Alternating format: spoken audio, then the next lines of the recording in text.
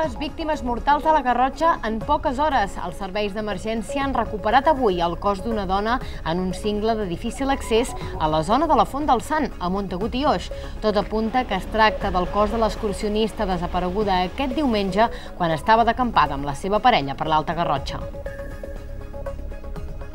Benvinguts a les notícies. Com dèiem, aquesta no és l'única víctima mortal que hi ha hagut a la Garrotxa. Dilluns, un escalador de 53 anys va perdre la vida a la zona del Castellot de Beuda pel despreniment d'una roca. Avui tenim més informacions. Tornem després d'uns dies festius que molta gent ha aprofitat per fer turisme a la comarca. Els establiments garrotxins han registrat millors xifres d'ocupació que l'any passat, amb un global del 87%. Les oficines de turisme han rebut més de 4.000 consultes, sense comptar els els punts d'informació del Parc Natural de la zona volcànica.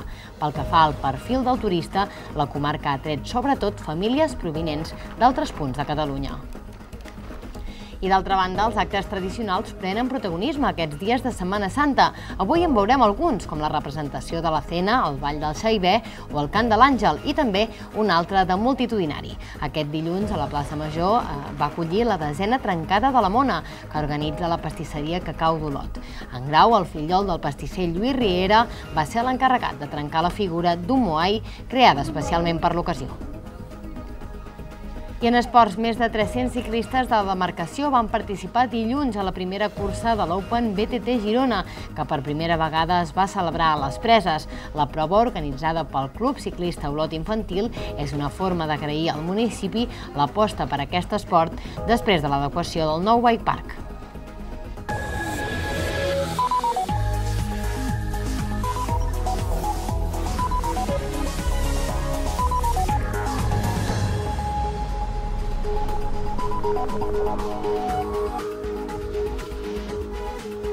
Setmana Santa ha estat tràgica a l'Alta Garrotxa. Ahir al vespre es va trobar morta una excursionista de 43 anys desapareguda diumenge a la Font del Sant, entre Sant Aniol de Guja i Ribelles. Avui s'han dut a terme les tasques de retirada del cadàver. Un excursionista hauria mort diumenge després de precipitar-se per una cinglera a la zona de la Font del Sant, a Sadernes, un indret de difícil accés situat prop del camí que uneix Sant Aniol de Guja i Ribelles per les canals. La dona, veïna de Girona i de 43 anys, estava d'acampada amb la seva parella i durant la nit l'excursionista es va separar del seu home i va marxar de la tenda. L'avís de la desaparició la va fer la mateixa parella a dos quarts de sis de la tarda. Durant gairebé 24 hores, set dotacions terrestres dels bombers i un helicòpter del grup d'actuacions especials del cos, juntament amb els Mossos d'Esquadra, han estat buscant l'excursionista.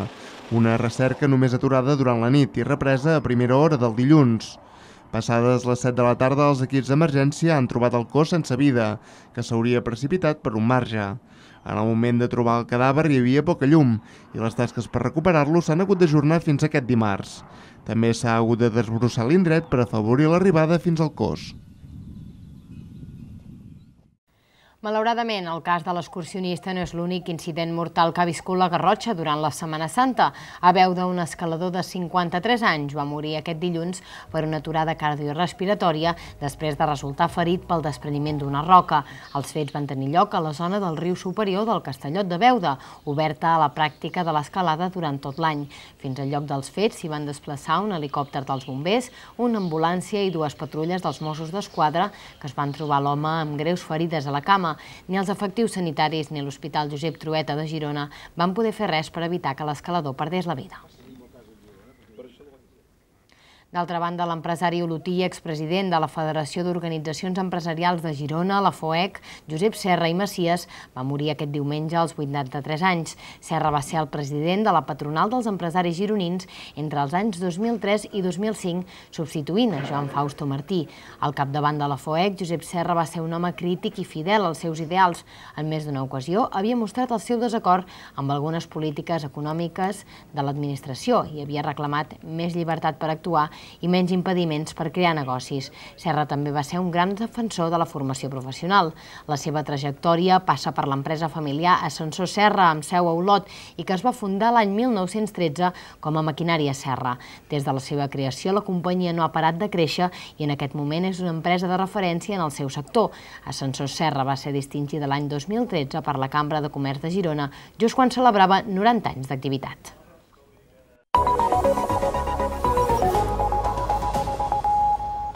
Canviem de qüestió. Els allotjaments turístics de la Garrotxa han registrat una ocupació del 87% durant aquesta Setmana Santa. És un increment d'un 2% respecte a l'any passat i un 7% més del que estava previst. El visitant tipus procedeix de Catalunya, és de caire familiar i ha passat dues nits a la Garrotxa. La Garrotxa ha viscut una Setmana Santa positiva pel que fa al nombre de visitants que ha acollit la comarca. Segons Turisme Garrotxa, s'ha registrat un 87% d'ocupació als diferents allotjaments comarcals, un 7% més del que s'havia previst en un principi. La xifra satisfà els responsables de l'ens turístic, que consideren que la campanya també s'ha vist afavorida per la climatologia.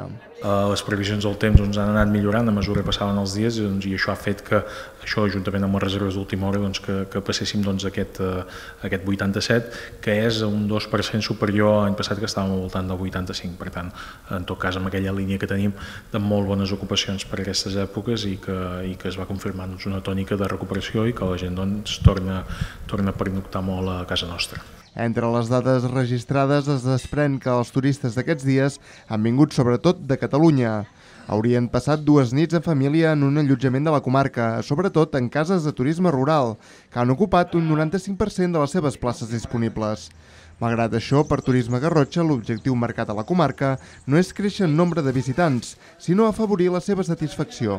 Somos de Euskadi, de un pueblecito de Guipúzcoa, de Ibar, y bueno, la motivación principal para, para el atractivo ha sido la garantía de buen tiempo. Y, la idea era hacer algo de andar, de patear un poco, de hacer senderismo. La idea pri primera era habernos ido hasta Galicia, Lugo, pero viendo el tiempo que había, buscamos hacia el Mediterráneo y nos pareció todo lo de la Garrocha como un sitio interesante para conocer todo lo del tema volcánico y las pateadas que ofrecía. Venien donant una volta per aquí, anaven, anaven a Olot i han dit, mira, pararem aquí a Castellfollit de la Roca, que és molt bonic, no? i hem parat de, de passar, hem comprat unes magdalenes i algunes cosetes més. Hem vingut pel dia festiu que hi ha avui, dia molt bonic, i per l'entorn, l'entorn que hi ha per aquí està, està molt bé. El nostre objectiu no, no és el d'augmentar l'ocupació indefinidament i cada any tenir més, dada, més uh, un percentatge d'ocupació superior, sinó que el nostre objectiu és que les dades d'ocupació o que la gent que vingui, doncs, la, seva, la qualitat de la seva visita cada vegada sigui millor i que per tant doncs, la satisfacció del visitant sigui, sigui molt bona. Per tant, nosaltres no mesurem eh, la bona feina o no en si va vinguent cada any més gent, sinó en quina és la qualitat de la visita que els hi proporcionem a aquestes persones. Entre les dades recollides aquests dies també destaca el nombre d'atencions fetes per les diferents oficines de turisme municipals, que han atès a més de 4.000 visitants, sense tenir en compte les oficines que depenen del Parc Natural de la zona volcànica. Com ja els vam explicar aquests dies de Setmana Santa, el Servei Català de Trànsit i els Mossos d'Esquadra han aplicat mesures especials de circulació per evitar embussos a la travessera de les preses. De divendres a dilluns, fins al migdia, van col·locar-se cons per prohibir els girs de l'esquerra. El dispositiu ha aixecat queixes entre veïns i empreses de la zona i s'ha hagut d'anar modificant. Aquest era l'aspecte de la travessera de les preses dissabte al matí. El Servei Català de Trànsit i els Mossos van posar en marxa un dispositiu especial per evitar les cues i embussos habituals. El sistema, com poden comprovar, va aconseguir l'efecte contrari. Els cons situats a sota la via impedien durant el matí el gir a l'esquerra, de manera que els veïns de la Vall d'en Bas que volien arribar a Olot havien d'anar fins a la rotonda del polígon de la Serra. Al mateix temps, els presencs que volien dirigir-se al túnel de Bracons havien de canviar de sentit passat el pont sobre el torrent. Durant aquest pont de Setmana Santa, el sistema s'ha modificat en fins a 3 punts per una millor circulació.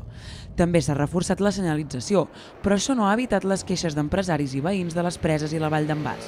Exposar amb els responsables del Servei Català de Trànsit i dels propis Mossos doncs les incidències que anàvem veient, que anaven passant, les eh, reclamacions de, dels propis veïns de, de, de les preses, doncs, principalment comerciants i empresaris de restauració, els quals doncs, ens feien arribar la seva preocupació. D'aquesta manera nosaltres ho vam fer, ho hem fet de transmissors d'aquestes preocupacions, de tal manera doncs, que de mica en mica eh, s'anés modificant. Vila recorda que aquesta és una iniciativa del Servei Català de Trànsit i que es tracta d'un dispositiu temporal i flexible, que s'anirà adaptant a les necessitats de cada moment. No ha estat una iniciativa que hagi sorgit de, dels propis ajuntaments, sinó que ha estat una iniciativa del propi control de trànsit doncs, de, que forma part de, de tot Catalunya. Eh, és un dispositiu que no serà permanent, només serà en situacions molt eh, excepcionals, com és una Setmana Santa, una festivitat, un pont, per tant, no és una cosa que es tingui que fer cada cap de setmana. L'Ajuntament de les Preses ha acordat amb el Servei Català de Trànsit mantenir una reunió el més aviat possible per posar sobre la taula les mancances del dispositiu i evitar repetir perjudicis als usuaris i als negocis de l'entorn ja s'ha convertit en tota una tradició a Olot i és que fa 10 anys que la pastisseria Cacau fa la trencada de la Mona Gegant a la plaça Major. Van començar aquesta iniciativa perquè tots aquells nens i nenes que no tenen padrins o no podien comprar-se una mona en tinguessin una. Com no podia ser d'una altra forma, el dilluns de Pasqua arriba amb un acte que s'ha convertit en tota una tradició d'Olot, la trencada de la mona de cacau pastisseria a la plaça Major. Enguany celebren el desè aniversari d'aquesta iniciativa, que va néixer amb la voluntat que tots aquells nens i nenes que no tenien padrins o no poguessin comprar una mona en tinguessin una. Enguany, la figura que s'ha trencat és un moai, una divinitat misteriosa que s'ha escollit per dos motius molt importants. Ara fa 10 anys, en Lluís va saber que seria padrí d'en Grau i la primera mona que li va fer va ser un moai. Així doncs, per completar el cercle d'aquesta data tan especial, en Grau ha sigut l'encarregat de fer la trencada de la mona. Nosaltres el que hem fet ha sigut tancar un cercle, una idea que fa 10 anys semblava un despropòsit, doncs ha sigut una festa que s'ha anat consolidant, la gent se l'ha fet seva, és una, una data important al calendari, llavors aquest any hem decidit celebrar els 10 anys fent la primera mona que vam fer, que just va ser el moment que vaig saber per part del meu soci i amic doncs, que havia de ser padrí d'un nen, i 10 anys després, doncs, això, ens hem trobat que l'ha trencat el, el meu fillol. Sobretot la del meu padrí, quan s'hi ha estat molta estona construint-la i... bueno... Per altra banda, la Mona també té una vessant reivindicativa, i és que el que es vol reclamar és el trasllat del Moai d'Olot a una altra zona més tranquil·la i adequada per l'escultura originària de l'illa de Pasqua. Creiem que seria interessant que el Moai es canviés de lloc també i anés a un tipus de lloc, un lloc on te, com a divinitat, una figura que té una, una voluntat totalment transformadora, de pau i d'integració, doncs entenem que potser podríem trobar un emplaçament millor. Doncs emplacem a la societat a, això, sobretot a nivell polític, a veure ja com veurien, no? desplaçar en un futur museu dels volcans, en, una, en un espai natural més propi per a ell mateix. La mona d'enguany pesava 100 quilos i tenia 2 metres i 40 centímetres d'alçada, el límit del que poden estirar la seva creativitat perquè la figura pugui passar per la porta. I mentre acabaven d'assaborir la xocolata del Moai, ja asseguraven que tenien pensada la mona de l'any vinent, que serà més estreta, més estilitzada i tindrà una voluntat més solidària. Més tradicions aquests dies, l'Església del Carme es va omplir el matí de diumenge per veure la missa de Pasqua del diumenge de Resurrecció i el posterior Cant de l'Àngel. Per segon any consecutiu, l'encarregat d'interpretar aquest cant va ser Ferran Carbonell.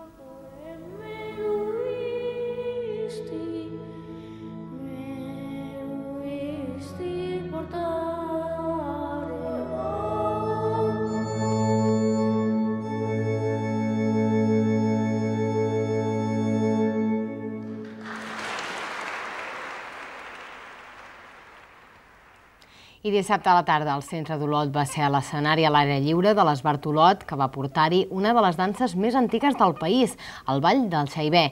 Abans els bastoners i grellers d'Olot van recórrer el carrer Sant Rafel fins a la plaça Major. Sobre les 6 de la tarda de dissabte, els bastoners van arrencar amb la seva cercavila al carrer Sant Rafael, a l'alçada de plaça Clarà. Fent xivarri van aconseguir treure curiosits que, veient l'espectacle, es van anar quedant i seguint-los. Aproximadament cada unes 30 passes feien un nou ball i aconseguien més adeptes. Com si el flautista de Melina es tractessin, amb la música i els balls de bastons van conduir un grup de persones que cada cop es feia més gran fins a plaça Major. Hem començat a les 6 fent la cercavila dels bastoners, que és una referència a la processó que es feia inicialment als segles XIV, XV, XVI i en endavant, que acompanyava doncs, un seguit d'imatges religioses en processó com es fa en molts llocs de, del país, no?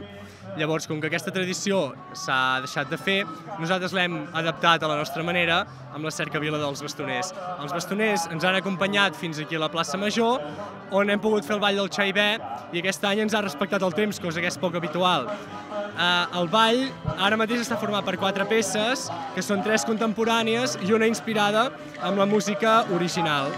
Quan nosaltres vam començar a fer el ball el 2007, només hi havia l'última peça, la d'arrel tradicional, perquè era la que havia quedat documentada i vam decidir recuperar-la. Un cop allà i acompanyat ja d'una cinquantena de persones van canviar-se per seguir amb una altra tradició, la del xaibè. Primer els més joves de l'escola de dansa i després els més veterans. La tradició ve d'aquí, llavors els pastors anaven acompanyant la processó fins, eh, diria molt que al Carme, tot i que això no ho puc eh, assegurar del tot, i allà un cop acabaven doncs repartien fruits secs o, o alguna cosa que havien pogut comprar amb diners que guanyaven fent tot un seguit de jocs amb els pals i, i es, bé, això, eh, eh, proves que es feien entre ells, doncs aviam qui tirava el pal més ràpid i juguesques d'aquestes, que llavors la gent, doncs, com que quedava molt contenta de l'habilitat dels pastors, els hi donava aquests fruits secs o aquests diners a canvi. Enguany el temps va respectar, fet poc habitual per Setmana Santa, i això va ajudar a que l'espectacle fos presenciat per més gent. I el municipi de Santa Pau també ha recuperat aquest cap de setmana una tradició de fa dècades, les caramelles. Antigament es sortia a cantar per les cases amb instruments, per recollir ous o diners que els oferia la gent. Ara, i després de tant temps, les caramelles han tornat a Santa Pau. Antigament, el municipi de Santa Pau tenia una tradició típica de Setmana Santa, les caramelles. Són uns cants senzills que es feien el dissabte sant durant la missa de resurrecció. En aquella època, infants i adults anaven per les cases amb uns cistells i demanaven la voluntat. Feia dècades que no es feia i ara ho han recuperat gràcies a la versió moderna que ha realitzat l'Ajuntament amb la col·laboració de l'Associació de la Gent Gran del Casal Cívic d'Olot. El col·lectiu ha cantat caramelles a la plaça dels Valls i, malgrat que el temps no ha acompanyat, ja que feia força vent, l'entitat ha tingut una molt bona acollida. Bueno, s'ho han fet una miqueta ells, ha estat una mica iniciativa d'ells que van vindre a l'Ajuntament a proposar a veure si veurien bé que es tornessin a repetir a Caramella de Santa Pau.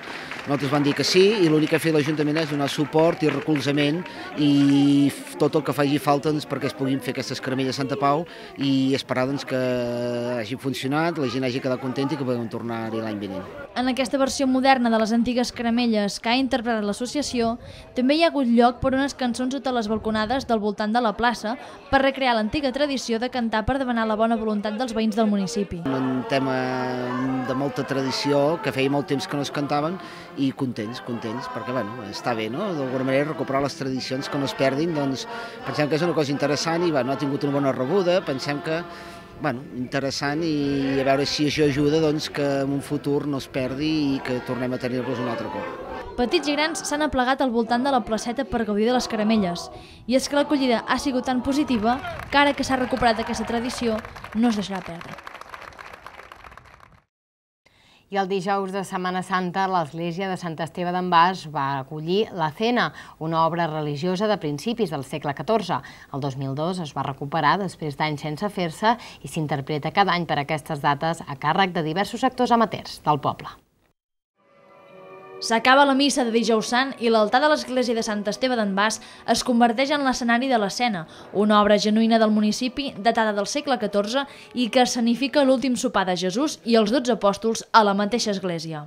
Es tracta d'una tradició que es va recuperar l'any 2002 i que no s'ha deixat de representar gràcies a la implicació de les persones del poble. És una representació, una actuació curta, però que està carregada de, de valor històric perquè data del segle XIV.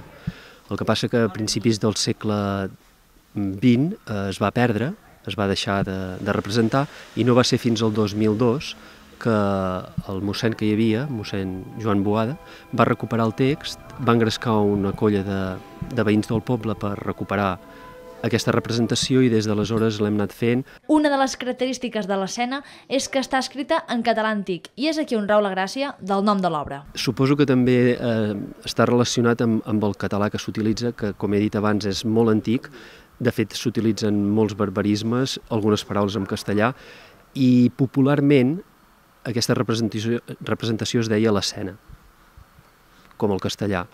I també nosaltres quan eh, fem la promoció i en parlem, eh, parlem de l'escena, no parlem del Sant Sopar. Des que Boades, capellà de la mateixa església de Sant Esteve d'en Bas, va recuperar l'obra, més de 30 persones han participat en la representació que té una característica ben curiosa, i és que antigament els rols de cada apòstol passaven de pares a fills. Jo havia participat, de, o sigui, participat com a espectador d'aquesta obra quan es va recuperar, i llavors un dia, com que han anat passant gent, alguns doncs, per malaltia, per cansament, alguns per defunció, han fallat, i hem anat entrant d'altres. Jo ara em sembla que és la quarta vegada que la faig encara que teoria, si haguéssim de seguir la tradició popular d'aquí d'en Bas, jo hauria de fer de Judes, perquè ja des de petit havia vist penjada la bossa de Judes a dalt de les golfes de casa, que es veu que cada família ja per tradició feia un personatge, Jesús era de Can Pairassa, jo sé que Judes era de Can Badosa, vull dir, o sigui, es anava, es anava portant d'aquesta manera, però bueno, faig a Felip. L'esperit i les ganes dels participants per no perdre de nou aquesta tradició autòctona del mateix poble fa que, de moment, l'any que ve es puguin tornar a reunir per fer l'últim sopar.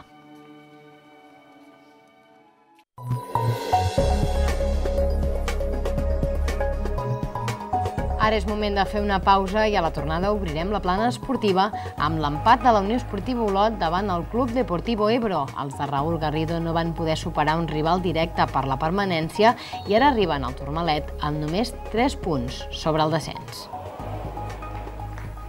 També sabrem com sonen les noves cançons d'Olot.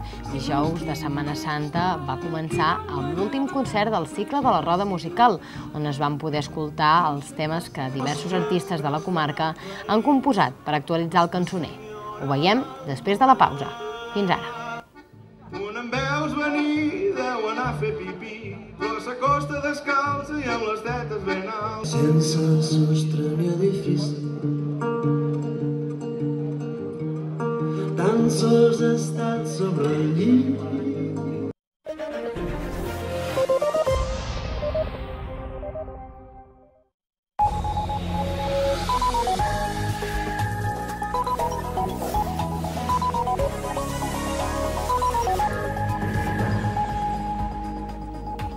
Les Preses va acollir aquest dilluns la cursa d'obertura de l'Open BTT de Girona, que va comptar amb la participació de més de 300 ciclistes de la demarcació dividits en 11 categories.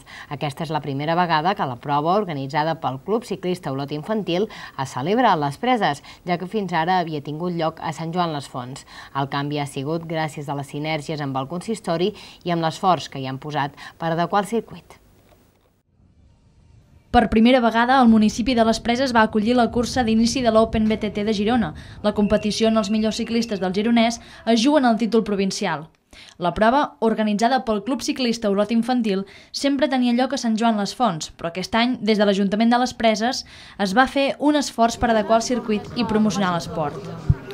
Superbé, la veritat és que l'Ajuntament de les Preses des del primer dia, ja fa uns anys, eh, va dir que ens apoyava, que tenia moltes ganes de fer coses amb nosaltres, ens va fer aquest magnífic bike park que tenim aquí, aquesta zona de, de, de ciclisme per als nanos, i, bueno, i nosaltres a canvi doncs, hem portat aquesta prova que l'estàvem fent a Sant Joan les Fonts ja feia 5-6 anys i l'hem portat aquí. Que també ha servit per l'Ajuntament un anel que ja feia anys que hi estàvem lluitant, que era recuperar l'activitat al Parc del Xingurri, a l'àrea recreativa del Xingurri, i allà doncs fent-hi una inversió normaleta, sense fer gran dispendi, doncs que tinguéssim allà doncs, tota una sèrie de pistes per tal de que l'entrenament de, dels joves, i no tan joves, doncs, poguessin gaudir doncs, d'un doncs, espai a l'àrea lliure per tal de practicar doncs, el, el BTT. Davant l'èxit de participació que va tenir la competició, des del consistori no van descartar repetir l'any vinent.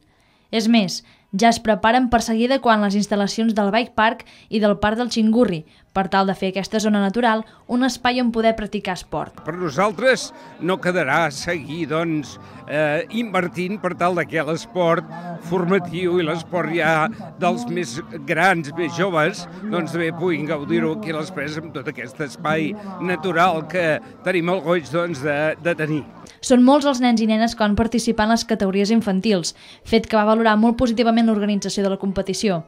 El guanyador a la vi, Marc Sanfra, es mostrava satisfet del resultat i es va veure segur i fort en aquesta prova. Jo m'he sentit molt bé, la primera volta he anat amb tot el grup i després m'han donat relleu, he vist que no em seguien gaire bé i he atacat. I fins al final i al final he quedat primer. Amb els resultats tan positius i amb l'elevada participació infantil que va tenir la competició, les preses posa ja fil a l'agulla per encarar l'Open BTT de Girona de l'any que ve. I divendres, la Unió Esportiva Olot no va passar de l'empat sense gols en la visita del Club Deportivo Ebro a la capital garrotxina. Els de Raúl Garrido, que va complir l'últim partit de sanció, sumen quatre mesos sense perdre davant una afició que va respondre com demanava el cos tècnic. La Unió Esportiva Olot no va poder aprofitar la punxada del Paralada davant l'Ontinyent ni del Sabadell davant el Cornellà per apropar-se una mica més a la salvació. Rebia l'Ebro a casa i el conjunt aragonès va saber contrarrestar el futbol olotí per endur-se un punt de la Garrotxa. Els de Garrido segueixen el seu camí cap a la permanència. L'arrencada va deixar un xumetre en mode estel·lar amb un parell d'ocasions que a punt van estar de desequilibrar ràpidament la balança. Els visitants, però, lluny de deixar-se intimidar, van començar a desplegar el seu joc i una pressió alta que asfixiava la sortida de pilota olotina. Va ser el moment del de sempre, Xavi Ginar, que va deixar dues aturades decisives. Els últims minuts de la primera meitat van estar marcats per les imprecisions vermelles, que van impedir agafar el contraatac al Club Deportivo Ebro. Creo que en muchas fases del partido los dos equipos han ido de tú a tú por la victoria. Eh, a nosotros nos ha costado, como siempre, mucho esfuerzo ¿no? el, el contrarrestar al Olot, que es un equipo que, que va a buscar siempre el gol y la victoria pero nos queda también, y, y, por eso le damos valor al punto, pero nos queda ahí una sensación también un poco agridulce porque pensamos que en determinados momentos de partido también se ha podido ganar. La segona meitat va arrencar marcada per un canvi de dibuix olotí, passant del 3-5-2 al 4-3-3 per intentar contrarrestar la pressió visitant. Garrido va omplir el mig camp i va obrir les bandes, fet que va ajudar a oxigenar el joc dels olotins. Eh, traient d'aquests 10-15 minuts primers, la, primera part no ha sigut bona, no hem estat bé, hem estat nerviosos, moltes, moltes pèrdues, i després la segona hem, hem variat el, el sistema, crec que hem estat millor, eh, hem tingut molt, molt més i millor el balon, però ells defenen molt bé, eh, ells són cinc jugadors pràcticament a l'àrea, pues, doncs era, era, era molt difícil i no, no, no hem pogut, no hem pogut fer-los eh, tingut arribades per banda en, en alguna ocasió, però ens ha costat fer ocasions. Tot i el canvi de dibuix i l'entrada de futbolistes desequilibrants com Pedro del Campo i Alfredo, l'Olot, que va gaudir d'alguna ocasió, no va acabar d'aconseguir tancar l'Ebro al seu camp. Els visitants veien bé el punt i van endarrerir línies amb l'objectiu de frustrar els atacs locals. Tot i l'esforç dels quasi 1.200 aficionats que es van reunir a l'estadi, els de Garrido només van poder sumar un punt, que hauran de fer bo dissabte que ve a Vilareal. Un partit menys, un punt més pels olotins.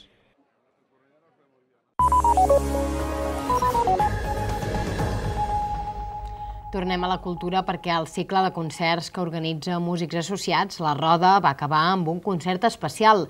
L'entitat va proposar a diferents autors d'Olot i la Garrotxa que composessin cançons relacionades amb Olot i comarca per tal d'actualitzar el cançoner garrotxí. S'han recollit en un disc que es va presentar dijous a la Sala Altorín. La Roda Musical, el cicle de concerts organitzat per l'entitat Músics Associats, va celebrar el dijous el tancament d'aquesta edició que tenia un objectiu molt especial, actualitzar el cançoner de la Garrotxa. L'any passat es van fer versions d'antigues cançons, però enguany es volia anar més enllà. Així doncs, es va proposar a diferents artistes d'Olot i la Garrotxa que composessin cançons relacionades amb la capital i la comarca i les van presentar en aquesta última cita de la Roda, que va tenir lloc a la Sala Torín. Una mica la condició era que això que les cançons fossin una mica ambientades amb, amb la nostra ciutat i la nostra comarca i gravar-les. Llavors eh, hi ha el concert que també ha servit una mica juntament amb un, amb un Verkami que hem fet perquè la gent participés i, i es pogués pagar doncs, també l'edició del disc i les gravacions.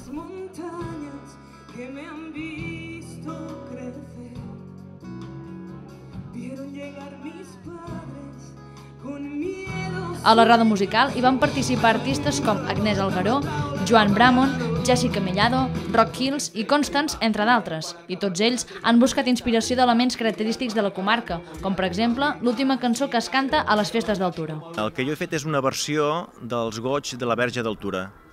Uh, els goig de la Nostra Senyora d'Altura és una cançó que es canta al final de les festes d'Altura, a l'església d'Altura, i jo el que he fet és agafar la lletra, pròpiament, i l'he musicat amb un altre estil, amb un altre concepte. És que aquí porteu corona, l'Olot, Fer, Enric, Perú, tots els de... amb l'edició del disc d'aquestes noves cançons, la Roda es va acomiadar d'una edició que ha sigut més que exitosa i que al llarg del cicle de concerts ha comptat amb grans artistes de renom com Michael Cannon, un dels noms més importants del jazz dels Estats Units. D'aquesta forma, encaren ja la preparació de l'edició de l'any que ve.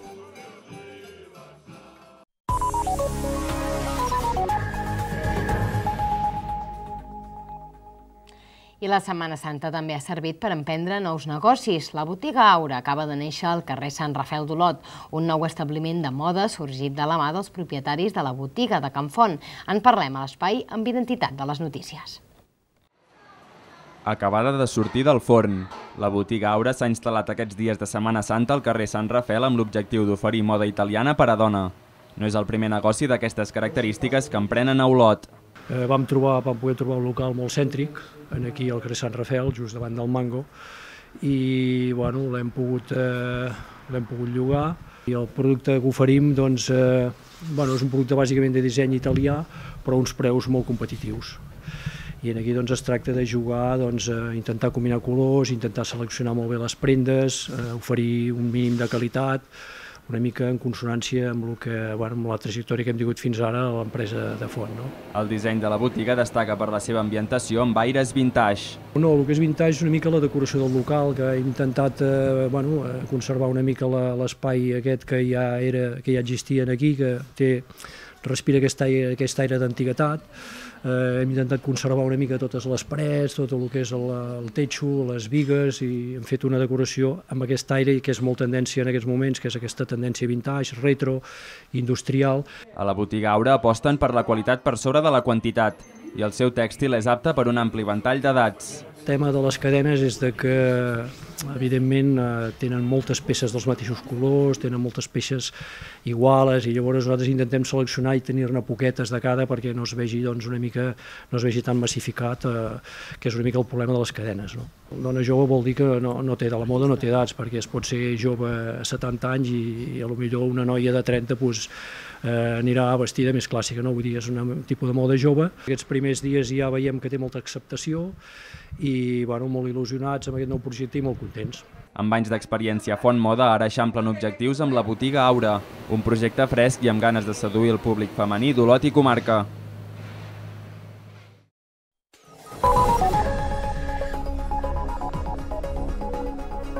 La situació meteorològica pot viure alguns canvis aquest dimecres. Segons el pronòstic del servei meteorolog.com, sembla que gaudirem d'un matí assolellat, però els núvols aniran a més a partir del migdia i la jornada podria acabar amb ruixats. El temps tornarà a ser estable de cara a dijous. Les temperatures seran més baixes que els darrers dies. El nostre meteoròleg Lluís Mi Pérez ens amplia aquest pronòstic de seguida. Abans, actualitzem els titulars del dia. Bombers i Mossos van localitzar ahir el cos d'una dona en un cingle a la zona de la Font del Sant, a Montagut i Oix. Tot apunta que es tracta de l'excursionista desapareguda aquest diumenge quan estava d'acampada amb la seva parella per l'Alta Garrotxa. Aquesta no és l'única víctima mortal de les darreres hores. Dilluns, un escalador de 53 anys va perdre la vida a la zona del Castellot de Beuda pel despreniment d'una roca. Són moltes les persones que han aprofitat els dies festius per fer turisme a la Garrotxa. Els establiments de la comarca han registrat millors xifres d'ocupació que l'any passat, amb un global del 87%. Les oficines de turisme han rebut més de 4.000 consultes sense comptar els punts d'informació del Parc Natural de la zona volcànica. Pel que fa al perfil de turista, la comarca ha atret sobretot famílies provinents d'altres punts de Catalunya. Els actes tradicionals prenen protagonisme aquests dies de Setmana Santa. Aquest dilluns, la plaça Major d'Olot va acollir la desena trencada de la mona que organitza la pastisseria Cacau d'Olot. En Grau, el fillol del pastisser Lluís Riera, que ja té 10 anys, va ser l'encarregat de trencar la figura d'un moai creada especialment per l'ocasió. Més de 300 ciclistes de la demarcació van participar dilluns a la primera cursa de l'Open BTT Girona, que per primera vegada es va celebrar a les Preses. La prova, organitzada pel Club Ciclista Olot Infantil, és una forma d'agrair al municipi l'aposta per aquest esport després de l'adequació del nou Bike Park. Ho deixem aquí, però recordin que al web olot.tv, així com a les xarxes socials d'Olot Televisió, hi trobaran les notícies d'última hora que afectin la Garrotxa. Gràcies per seguir-nos i fins a la propera edició.